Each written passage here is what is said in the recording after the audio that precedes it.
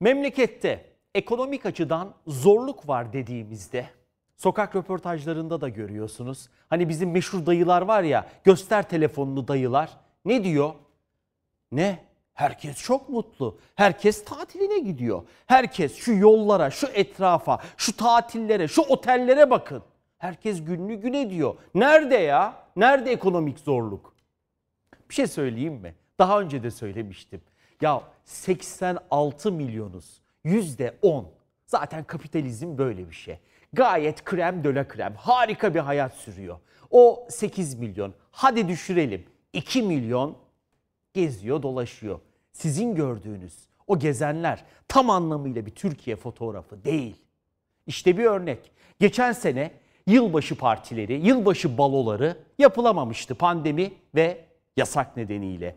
Bu sene yapılacak gibi görünüyor. E bizim şarkıcılarımız, türkücülerimiz geçen sene çalışamadık.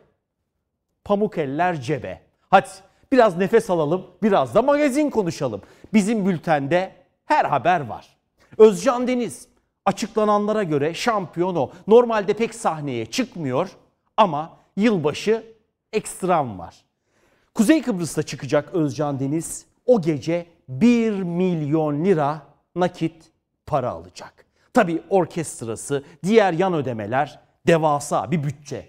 İkinci sırada ben hadisenin ikinci sıraya düştüğünü öngörememiştim. O da Kıbrıs'ta. Tabi iklimden dolayı Kıbrıs otelleri 900 bin lira.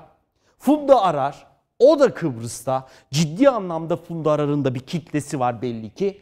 700 bin lira yılbaşı gecesi sahneye çıkma.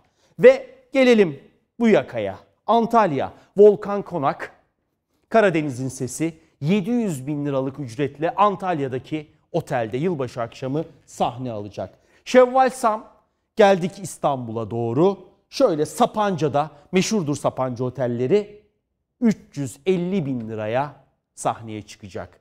Amcam telefon göster diyen dayıcım gider misin sen böyle yılbaşı partisine? Nerede bizde o kadar para? Nerede bizde böylesi bir tatil anlayışı? Ya o yüzden çok fazla gezen, o sosyetik görüntüler, o pahalı arabalara aldanmayın. O net bir Türkiye fotoğrafı değil. O fotoğraf başka yerlerde. Ve